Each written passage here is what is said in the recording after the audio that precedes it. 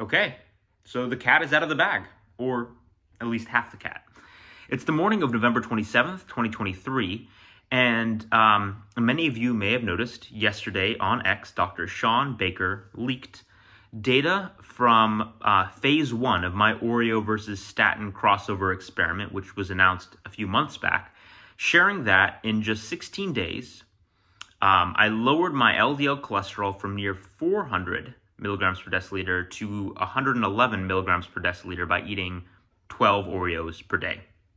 About a sleeve of Oreos, about 100 grams of carbs in Oreos. So in this video, I want to cover the who, what, why, how, and where of this Oreo versus statin experiment for those getting up to speed. So who? Um, for those of you just getting to know me, um, my name is Nick Norwitz. I received my PhD from the University of Oxford in human metabolism, and I'm currently a third year medical student at Harvard Medical School. I'm a recreational athlete with a rather intense history.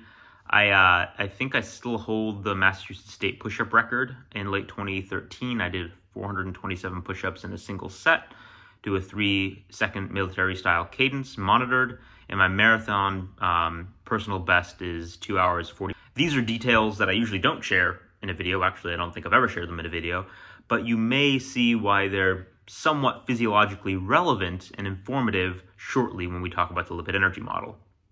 I'm also an example of a phenotype called lean mass hyperresponders, or LMHR for short, which is a subject that um, colleagues and I, including uh, Dave Feldman and Dr. Adrian Soto-Mota, have been studying for the past few years. Uh, lean mass hyperresponders are people who, upon commencing a very low carbohydrate, usually ketogenic diet, exhibit changes in their lipid markers such that their LDL cholesterol is above 200, their HDL is above 80, and their triglycerides are below 70. Um, those cut points were chosen historically and are the topic of uh, other videos and for further discussion. But typically, these people are lean and athletic. In fact, there's actually an inverse association between body mass index, BMI, and LDL cholesterol change on ketogenic diets.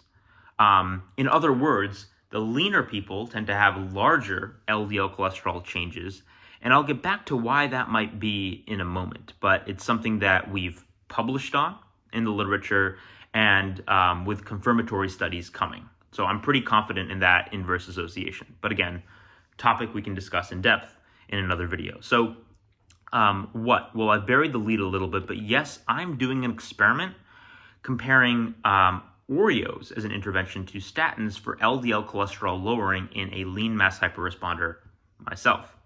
Of note, I really do want to highlight I'm doing this with the supervision of my primary care provider, with cardiology input and with appropriate ethics applications. I'm not just going rogue. Um, the protocol was designed um, a priori and announced um, and uh, was going to consist of roughly two weeks of Oreo cookie addition to my diet um, to a standardized baseline ketogenic diet, specifically adding 12 Oreos per day, which is four servings of Oreos, which is about 100 grams of additional carbs to my diet. Now, of note, this was an addition. I did not swap it out for other foods. Thus, fat, saturated fat, and fiber intake were not decreased, but actually slightly increased overall. Um, after the Oreo intervention, which obviously has completed, I underwent a uh, sufficient washout period of uh, several months and um, have recently started the statin phase. The statin phase was determined to be rosuvastatin for 20 um, at 20 milligrams for six weeks. The statin dose and duration were determined um, as the maximum starting dose of rosuvastatin that my doctor would actually prescribe me, um, and the duration um, as the standard fair trial for statin therapy, six weeks, as communicated to me by two separate cardiologists um, I did get cardiologist and lipidologist input while designing this protocol.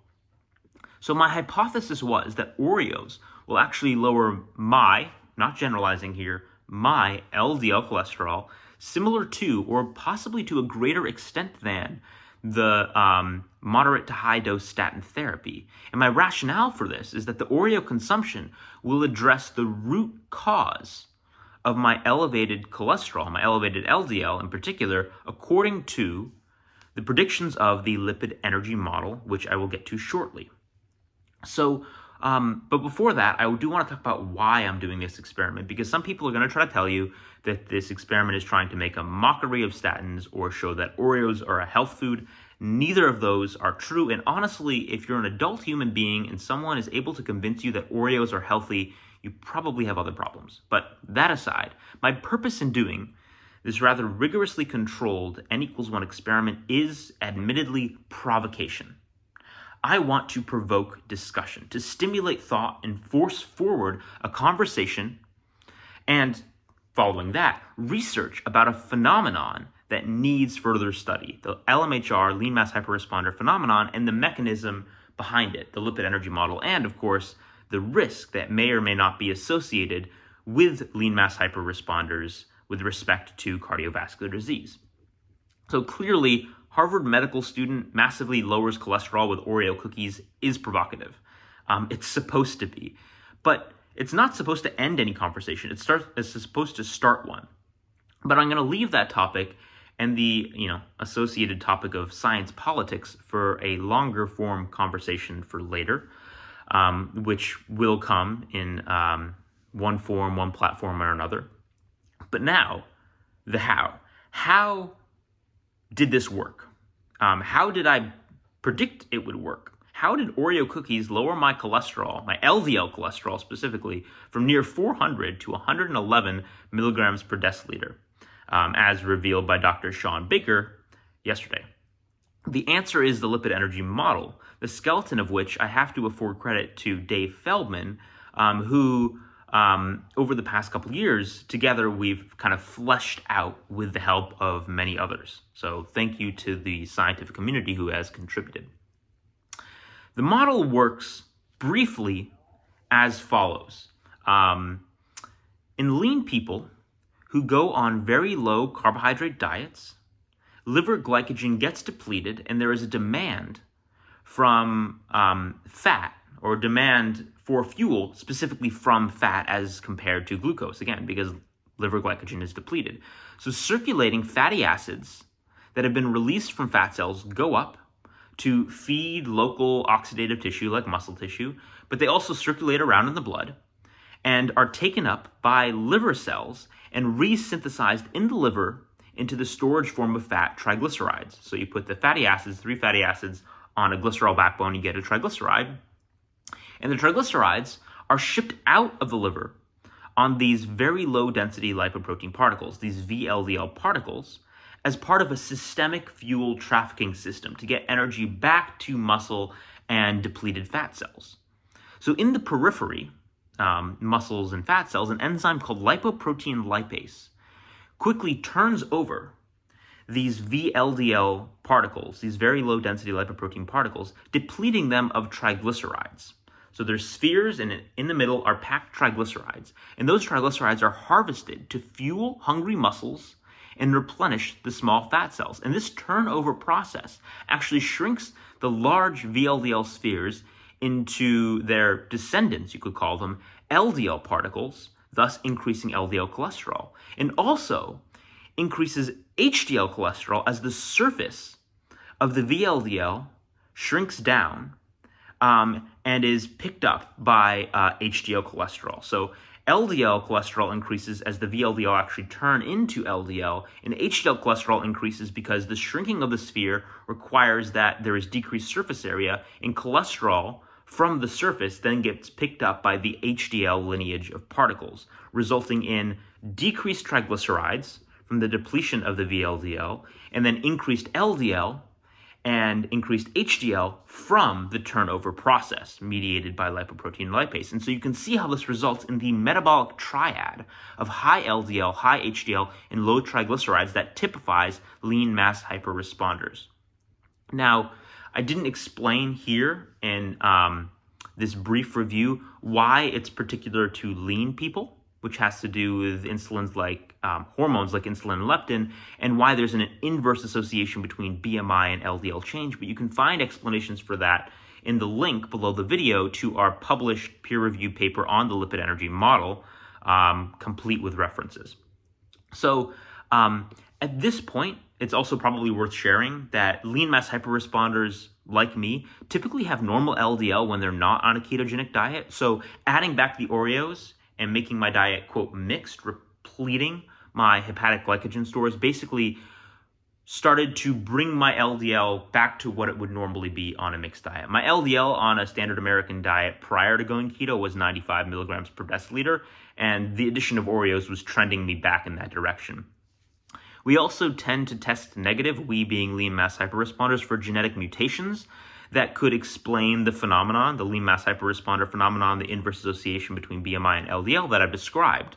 And indeed, I've had a whole exome sequence by Veritas with no clearly informative polymorphisms. And quite honestly, if you want me to look at my own exome for SNPs, just let me know the RS code below in the comments. I will check and I will report back to you. Happy to do it.